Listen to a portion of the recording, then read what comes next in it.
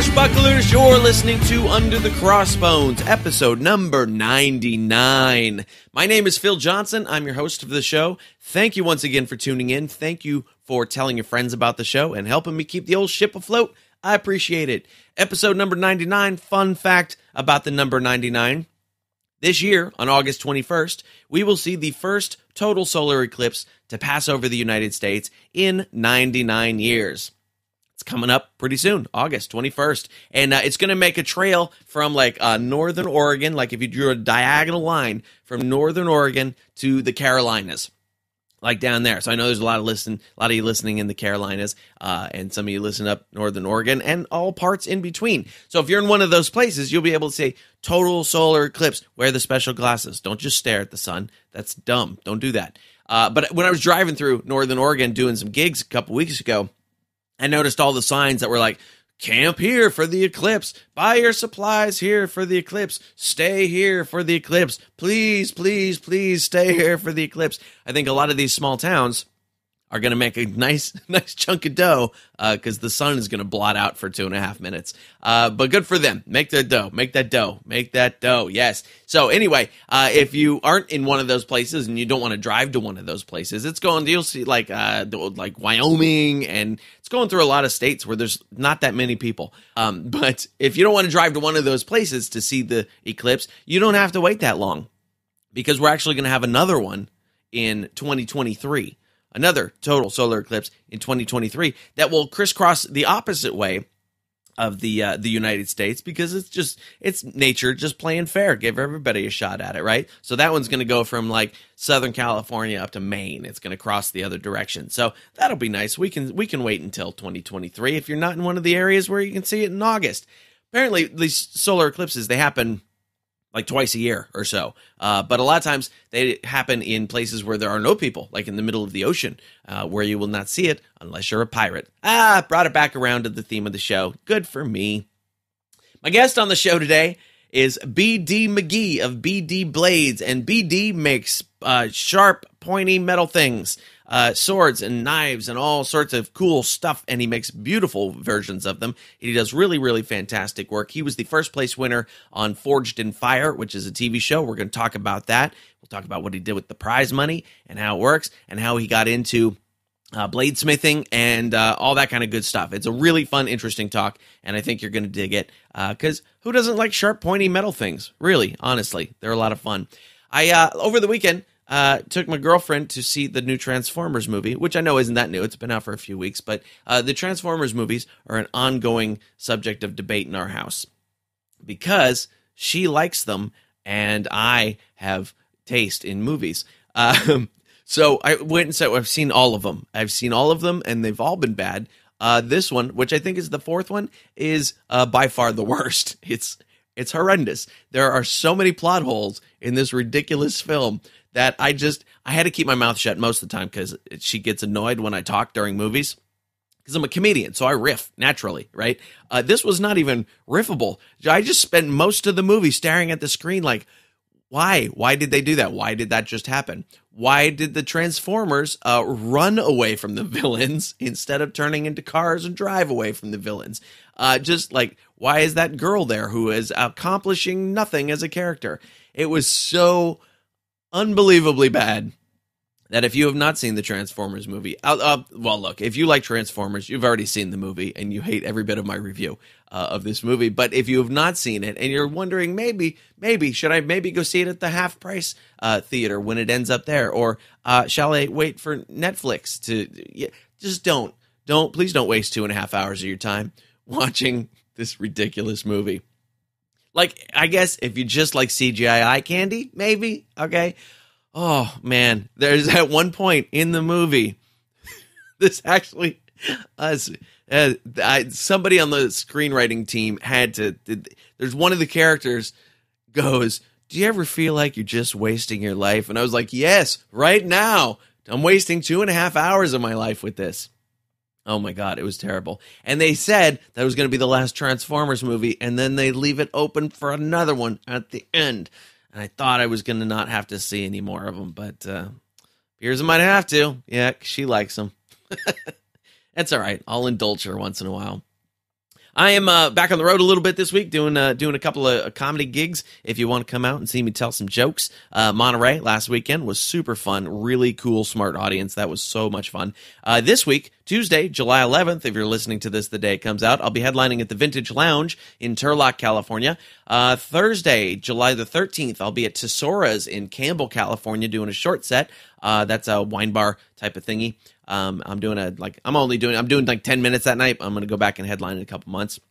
And then Friday, July the 14th, I'll be headlining at the Redwood Cafe in Cotati, California. And that is always a fun show up there. Cotati, weird little town. But uh, if, if you're into that vibe, it's a it's a fun little vibe. It's good.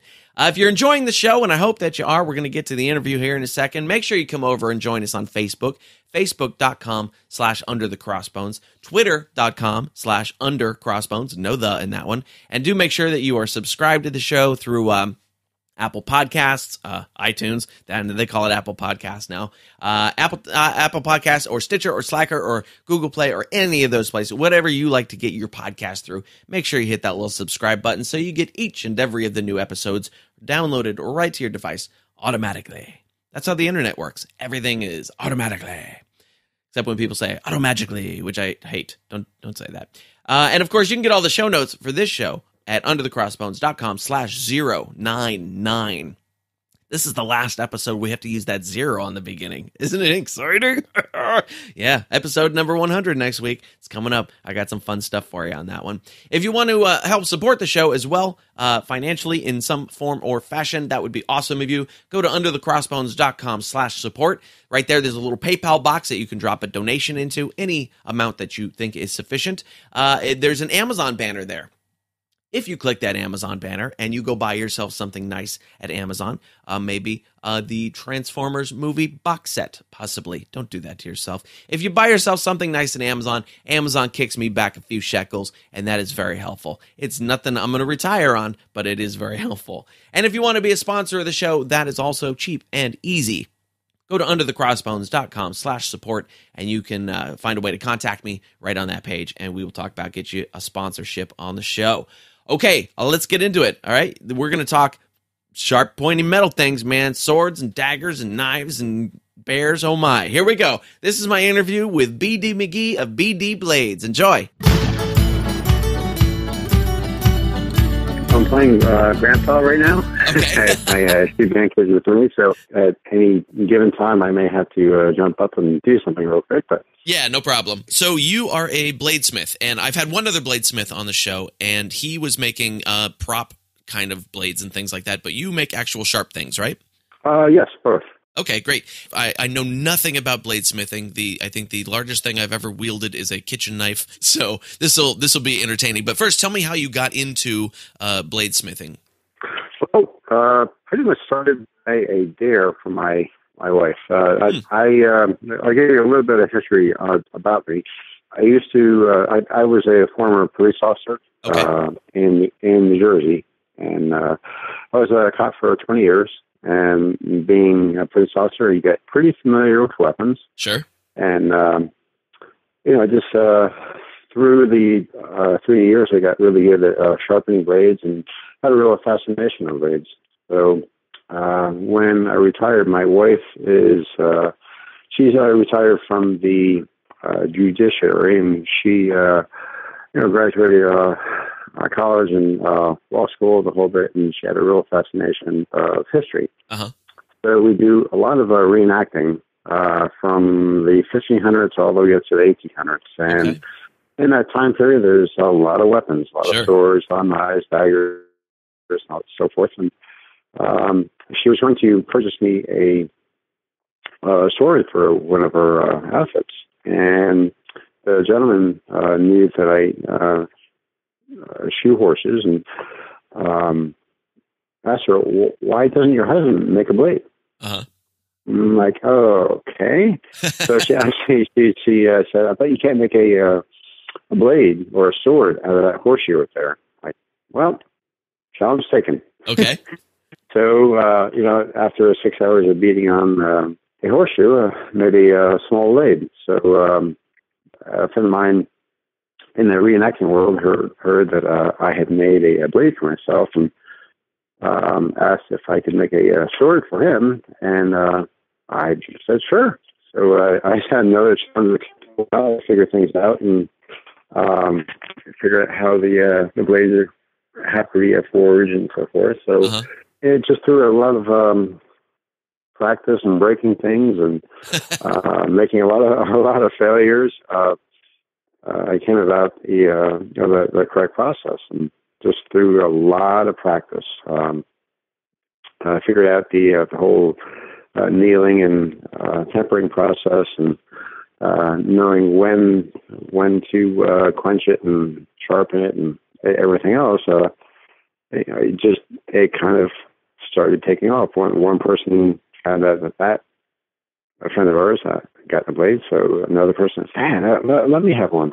Uh-huh. So it just, uh, it just started t- started taking off and kind of took on a life of its own. And uh, being retired, I was looking for something to um, fill my time, and um, it just really uh, filled the void really nicely. That's really cool. So I have a couple of questions. So you said you were a, a cop in New Jersey, right? Yes, Which part of New Jersey? uh, Northern New Jersey. Northern New Jersey. Okay. Uh, I only ask because I have a lot of relatives in New Jersey who you probably gave Oh, tickets okay. to at some point. Um, so sure, sure. I have a lot of family in Paterson and um, Oh, Hackensack that's and places right like that. where that's where I work. Okay, I was, nice. uh, I was a county cop in uh, in in Paterson. Yep. Okay, excellent. Very cool. Very cool. Uh, and so, what kind? You said you're doing a lot of reenacting and things like that. Uh, what is your favorite kind of reenacting to do?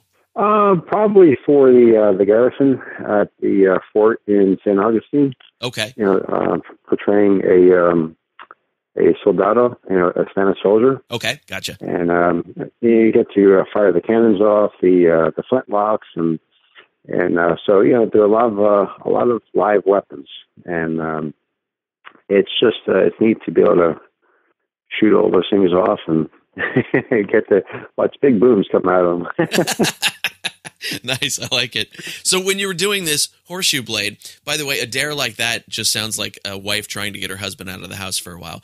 But oh yeah, that's let's see, what can I make him do that would take a really long time and keep him out of my hair? that's it. And Yeah. It worked. So, when you were doing this horseshoe blade, you had no equipment to speak of. You were really just out there pounding the thing old school until it was sharp, right?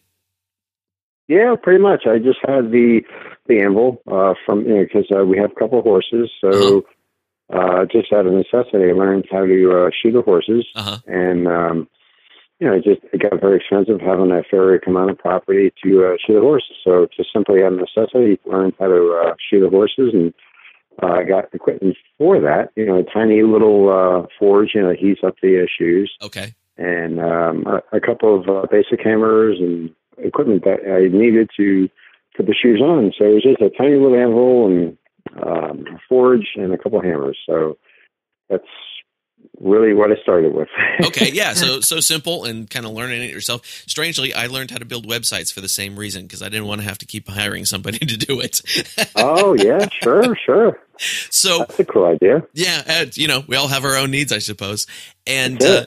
So as you you got into this and other people started seeing it and started asking and things like that, what is your what's your process in kind of leveling up equipment and skill wise in that? I mean, I, it sounds like a, uh, a maybe an expensive hobby to have. Oh, it, it's yes, it, it's a very expensive hobby. You know, it, um, you know, of course, the uh, the more equipment you get, the, the more expensive it gets. Yeah. Um, and you start getting into specialized stuff like uh, Damascus steel, where you take a a, a bunch of different types of um, metal and you combine them all together to make a like a, it's called pattern welding. Okay. Uh, and you can see all the different uh, types of metals in the in the blade. Uh-huh. It's all like folded together. You know, it's sort of like a, uh, a samurai sword uh, Okay. type of thing, where they keep on folding and folding and folding and uh, uh, forge welding it. What's the advantage to having those layers of metal in there? Number one, the the beauty of it, uh, you can have different pattern welds in the steel. Okay. Uh, number two, it, it can it, depending on how you heat the blade, uh, anneal it, temper it, and you can make a uh, a, a really tough, tough blade. You know, you can use uh, different types of uh, steels in there. You can use one that's higher carbon, one that's higher nickel, uh, chromium, and uh, just different compounds in, in the different steels. And you combine those uh, different properties all together, uh, you can get a really hard, hard edge with a flexible spine. Okay. So you know it has a less of a tendency to uh, snap or break or uh, hold an edge a whole lot better than just a a single compound uh, metal. Okay. So you know that that would be the advantage over that. That makes sense. Is there? Did you find yourself having to learn some of the like the the sciency aspects that go into it? Was it the? Or? Oh, I, I, absolutely. And I'm I'm still very much a student. I'm nowhere near a uh, a master, you know, yet. Um, it, it's all very much a, a learning process. You know, I'm, um, I have a lot of equipment now, and uh, you know, just from being on Forged in Fire, you know, um, winning the episode, the I took the the prize money and used that to purchase a lot more uh, big equipment that I really needed. Okay. Uh, to to further, uh, you know, the the bladesmithing. Tell me about that TV show a little bit because I'm not familiar with it, but I did see it uh, mentioned on your Facebook oh, okay. group. Yeah. Yeah, it's um, pretty much like a, like a competition mm-hmm. where you have uh, four uh, bladesmiths uh, that come from all different backgrounds and different parts of the country, and you know they all come to the uh, studio um, trying to uh, make a better blade than than the other. Okay. And uh, there's there's uh, three judges on the show. You have um, different challenges where they will uh, give you, let's say, a car, and you have to pull off of off the car or harvest off that car different types of metals that you have to make a blade out of. Okay. And uh, so, you know, it's not just like, all right, uh, you, you, here's a piece of steel, make a blade. You uh-huh. know, it, you know, the, the whole challenge is figuring out what type of metal has uh, enough carbon in it that you can make a hard blade with it. Right. So, um, you know, it's just a, it, that's a, a great, great challenge. And you got to figure stuff out. So it's not. There's a lot more to the show than just making waves. You know, it's a it's a competition. So you have to pace yourself. Um, you can't go really really hard, as we all know. To, just like in running, if you run real hard in the very beginning, you're going to be exhausted at the end. You have sure. to pace yourself.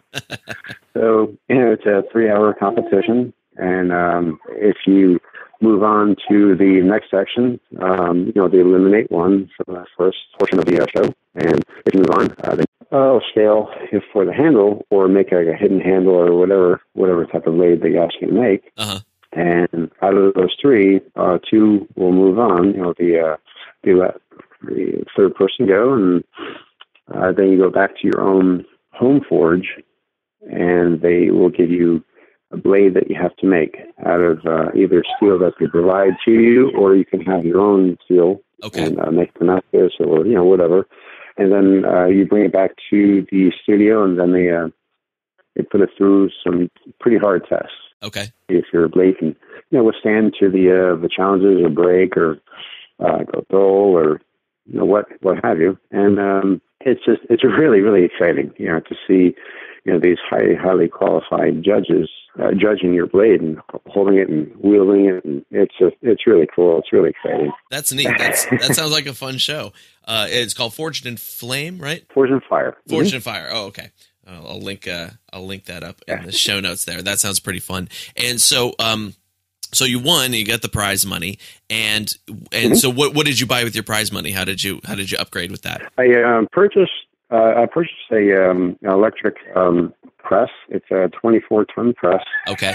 And a what's called a, a power hammer, where the, uh, the, the hammer goes up and down really really hard and, and uh, beats the uh, the metal. So you know you're not just using your elbow and your arm and your right. whole body uh, getting beaten up after a while. uh, you know you can you can use that a little bit and uh, really move the metal quickly, and uh, it, it, really helps with the uh, Damascus steel and forging all of the uh, metals together. How much old like old equipment versus like newfangled equipment do you use? Is there is there like you know new uh, new advances being made in bladesmithing technology, or is it really just kind of sticking to an older process? Well, uh, yeah, there, there's um, a, a lot of bladesmithing is uh, pretty much it really hasn't changed that much. Uh, you know, some of the elements that are in the the steels, you know, they they have uh, changed Uh-huh. where uh, you know they refine the steel, but they they've actually taken blades from a thousand years ago, fifteen hundred years ago, and given it to a uh, um, a foundry, and they'll analyze it, seeing what type of elements are in there and uh, kind of compounds, and see if there's slag and you know different um, elements that really would make the blade weak, and they are just now uh, making steel as refined as some of these steels from 1500 years ago. Oh, really? Huh. Yeah, so it's just uh, it's truly truly amazing how advanced the uh, bladesmiths really were um, uh, 1500 years ago. And you know, some of those techniques have really been lost, and we're um, just trying to keep it alive. You know, because uh, for a while there, blacksmithing was a, a dying art, but it, it it was not a very celebrated art. You know, it's Right. uh, it's one of those arts that uh, takes a lot of fortitude, a, a lot of strength. Uh, you're gonna it, you're in a very hot environment, Uh-huh. and uh, you know sparks are flying all over the place, and it's it's not one that you're uh, prone to sitting on a couch watching TV. You know, Right. you're out there really, and beating yourself up. And, uh, but the uh, the reward for blacksmithing is uh, being able to stand back and look at something that you created uh, that has taken on a life of its own. You know, you're taking like a square piece of, or just a blank piece of steel, and Uh-huh. you turn it into uh, a blade that has a soul now. You know, because a part of you is in that blade. it's one of those art forms that it looks very dramatic when you're watching it being done because you're seeing the hammer and you're seeing the, the glowing steel and the guy whacking away on it and, and you go ah that's Mhm. that's really dramatic looking. And then when somebody goes you want to try it? You're like no no I don't I don't want to try it. It looks it looks horrendously difficult and uncomfortable. Um so was it i mean when you when you got into it you said you had a, a uh, an interest in blades and things like that but not you hadn't really done that before. So what was it about actually making the blades that and the and that process and that type of thing that uh, that drew you into it and kept you doing it after that first one Well, before I was a cop, I I owned a uh, landscaping tree company, and, and Okay. again through the uh, through necessity, I learned how to fix equipment and weld and uh, bend metal and you know heat things up and shape them. uh-huh So I had a, a basic understanding, you know, of how a metal worked and welded together, and what what worked and what didn't work. Okay. But what really drew me, what really drew me into the bladesmithing was how you could just take something that was oh like really like soft and pliable, and through putting it in the fire and treating it with oil and and then heating it back up again, you could turn it into something really really hard uh, that would uh, you could pull it in one direction and bend it like a string, and it would snap back into its original shape. uh-huh And that's just, to me, that's just like magic. yeah you know, it's just uh, how you can make something or change something uh, chemically and uh, through changing all the atoms and realigning all the atoms. It's just it is just mind-boggling to me. Anyway, um, you know, it's just it's neat to watch something change right before your eyes. yeah And you know, it's just that you're creating something and you're giving life to something. And um, you know, for for so many years on top, you saw so, so much life being taken before you, uh-huh and now you're creating something. It's like, wow, that's so cool. yeah yeah it's it's almost like alchemy it's uh, pretty interesting that way yes, yes, exactly. It's like being a wizard. yes you need you just need the big merlin hat and you'll be all set That's it. a- so what kind of uh i mean what kind of uh space what kind of workshop do you have that you work out of Living on a farm, you you have access. I, we have access to a barn. We have a, a three a three thousand square foot barn, and probably about three quarters of it is the forge now. oh okay so you know it's just it's really expanded and um you know making a lot of blades and a lot of orders and um it's just for me that um, I have a couple of students too and uh, teaching them neat and uh, just pass and just passing the the art on and just watching watching their faces their enthusiasm their excitement of making blades just keeps me going that much more. Uh-huh. And uh, being able to pass something on like that is just really really cool. Yeah, that's great, and it's it's one of those uh, skills that's always in danger of going away because of modern technology and, and, and Oh, equipment and all that kind of stuff. You know, it only takes one generation to lose everything. Yeah, definitely, definitely. Eh, So you have. I was looking at your Facebook page, and you make a wide variety of different blades and things. How do you decide going into a project what kind of blade you want to make? Uh, one is uh, what does the client want? Uh huh. and that that usually dictates you know what I'm going to make. But if it's up to me, um, I just let I'll just start forging something, and I let the metal tell me what it wants to become. Oh, that's interesting. Yeah, you know, there, there's not a whole lot of. Um, I, I I have a general idea of what I want to make, Uh huh. and it just happens, you know. And um, uh, all, it just it all depends on how it feels in the hand Okay. you know, as I'm forging it, um, uh, does it feel good? Does it bounce well? You know, sometimes I'll have like, well, you know, make a, a very specific sword. And, all right, I'll, I'll go ahead and do that. But I'll just start beating on a piece of metal and just watch it form and let it go where it wants to go. Oh, that's interesting because yeah, I think every art form has its its version of doodling. Um, as a musician and a comedian myself, I have those those forms of, of just doodling until something arrives. But I had no idea that you could do that with a hunk of metal and some fire. That's pretty interesting. Yeah, you know, and um, talking to a lot of uh, master bladesmiths, it and it's just to me, I think it's so true in uh, just about uh, all professions and and artisans is that the difference between a uh, a novice and a master is that a master will take a mistake and turn it into something that's perfect. Sure. Uh huh. You know, and they'll just keep on working at it, working at it, working at it until it becomes something um, something beautiful. And uh, whereas a novice may just give it up and say, "No, that's not right," and just throw it to the side. And you know, if some, somewhere in that hunk of metal is a beautiful blade. Ah, okay. To me, I think that's the only difference between you know a master and a novice. It's just you know the persistence Yeah. and um, and you need a lot of persistence, and sometimes you get pretty frustrated. yeah. no, that that totally makes sense uh, from an artistic point of view. I've had songs, and not to call myself a master by any means, but I've had songs that began from a mistake and then turned into really successful songs. So that uh, that Yes, that yes. totally makes sense. Um, but the idea of, of doing that with um, like I said, just with a hunk of metal and some fire, just is, is mind blowing to me. So, what kind of um, commissions do you get? Is there is there like a most popular kind of item that you get uh, requests for? Um, no, I don't think there's any like one particular blade that is, you know, that, that most popular. Um, I do a lot of cutlasses, Okay, uh, just because, you know, I'm in that environment a lot and, you know, people want to use it in, in live, um, uh, sword fighting okay, where, you know, it, it won't have an edge. It's uh, stage ready, you know, so in case someone slips and hits your wrist or arm or something like that, you're not to remove something that Right. is intended to stay there.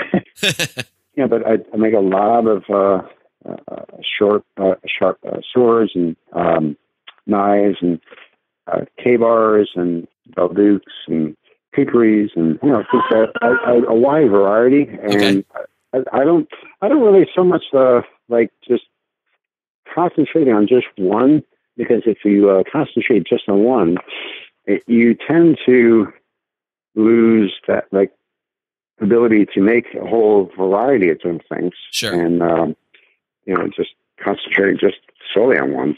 Yeah, and uh, i think that to me i think that's more of a challenge being able to keep the variety in there and of the different knives you know the the like a sax you know people people look at a, a sax blade uh, like a viking sax. Uh huh, oh that's a really simple a really simple blade to make.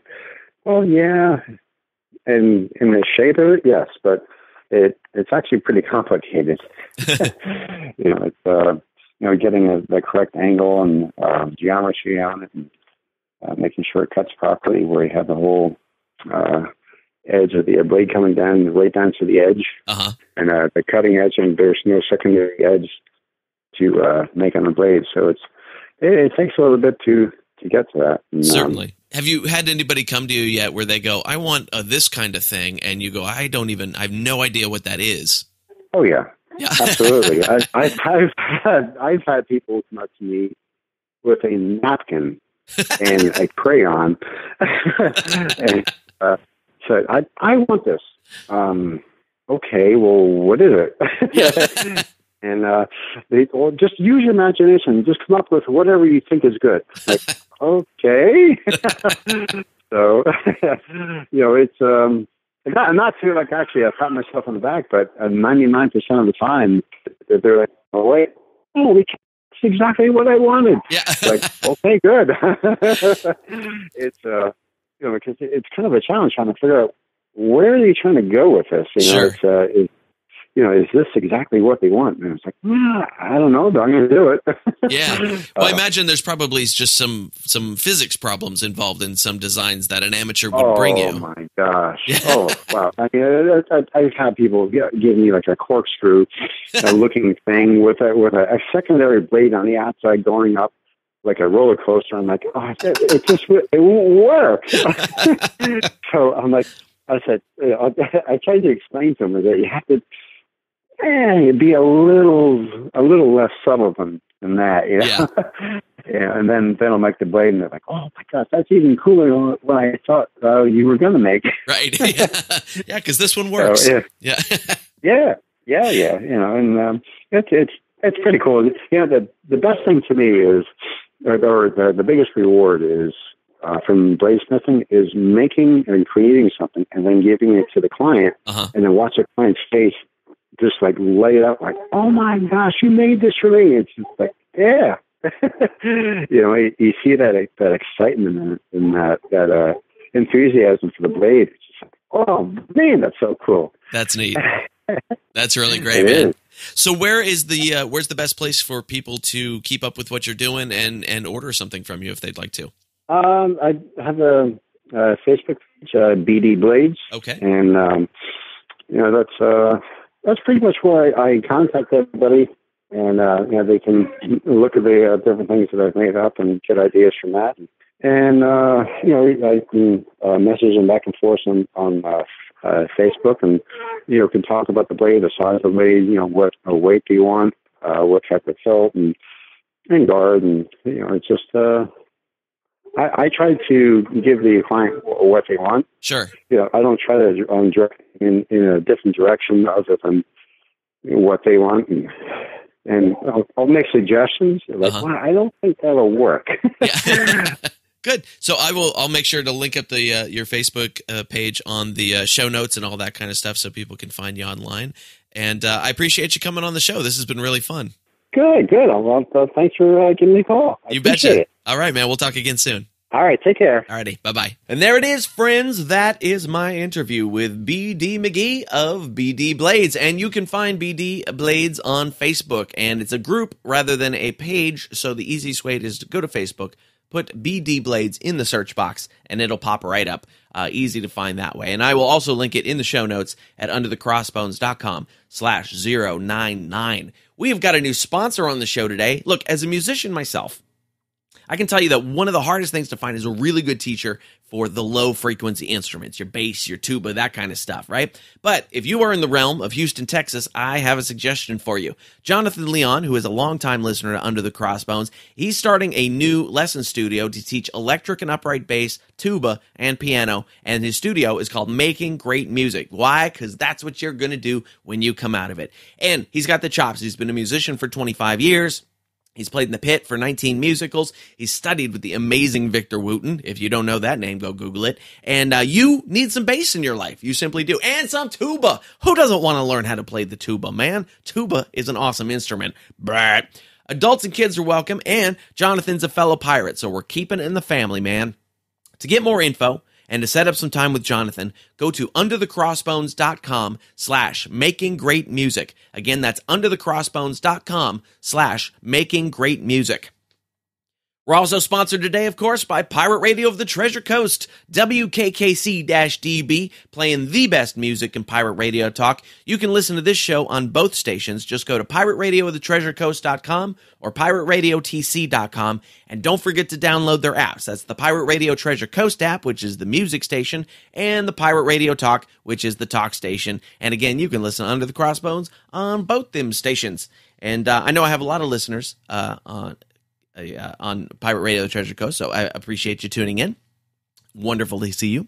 Uh, you guys are all over the world, so that's fantastic. Oh, you know what? I forgot to tell you about one other uh, tour date that I just booked November 3rd and 4th. I know it's a way out. I will be headlining in Orlando, Florida. And I know there are uh, at least a few thousand of you listening in Orlando, Florida. So uh, this is a little bit of an experiment on my part to see if I come to a town that I have not played before or at least haven't in many, many years, uh, if you guys will come out and see me. So I would like you to go mark that on your calendar right now, November 3rd and 4th. I'll be doing one show each night at uh, the Bonkers Comedy Club, which is at Boardwalk Bowl in Orlando, Florida. So we'll talk more about that later. I'm also booking more tour dates around that area. If you perchance want to do a house concert or something, you're in that area, hit me up. We'll get it all set up. All right, cool. Uh, I also have a free ebook for you. It's Alexander Exquemelin's Pirates of Panama or Buccaneers of America. And this is a seminal piece of pirate writing, originally published in 1678 by Alexander Exquemelin, who was a doctor who ended up on pirate ships and wrote about his adventures and his experiences on those ships. So it's uh, like a first person account pirate shippy, golden agey kind of stuff. So it's really great. And I got a free copy of it for you. All you have to do is go to underthecrossbones.com, click on the free ebook button, and you can download it right there. Or if you're out and about, all you have to do is uh, pick up your cell phone. It's probably in your hand anyway, or it's very nearby, right? Maybe in your pocket, giving you uh, testicular cancer. Just take your phone and text the word pirate and your email address to 94253. Text the word pirate and your email address to 94253. Okay, that's our show for today, kids. Thank you once again for tuning in.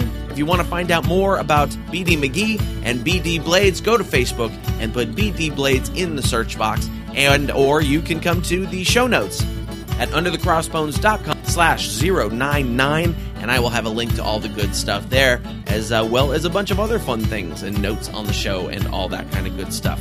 And uh, make sure you're subscribed to the show uh, at your preferred uh, podcatcher of choice. And uh, I hope you're having a good time. I hope you're having a nice week. I hope you're having a nice summer. Stay cool. Uh, stay frothy. I don't know what that means. And I'll see you next week. Bye.